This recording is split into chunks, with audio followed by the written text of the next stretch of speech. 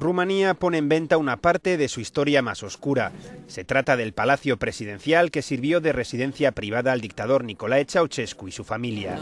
Con todo tipo de lujos, incluyendo piscina, zona de spa y dos saunas, el edificio fue diseñado en los años 60 a medida del mandatario.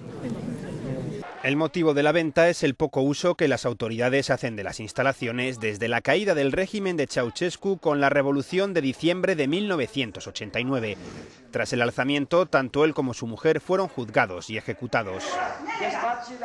En la actualidad, su antigua residencia se usa únicamente para acoger a delegaciones extranjeras que visitan el país, algo que ocurre solo tres o cuatro veces al año. Por ello, las autoridades han decidido hacer caja.